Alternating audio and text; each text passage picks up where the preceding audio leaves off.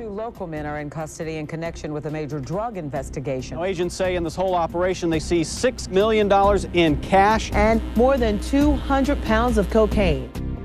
It was a huge puzzle. We had a piece in Miami, a piece in Texas, a piece in New York, a piece in St. Louis, in the Carolinas, California. These guys are one of the largest homegrown domestic distribution organizations in the history of our country.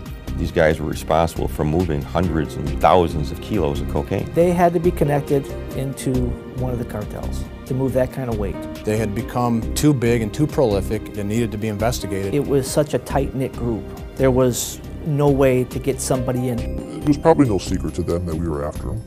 They just thought they were untouchable. They were they were far enough removed that nothing was going to happen to them.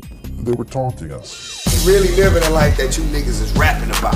I'm talking about the, the million dollar joints, man, from state to state, man. We love to spend our money. We can't take none of this shit with us. Ain't no armored trucks pulling up at no funerals.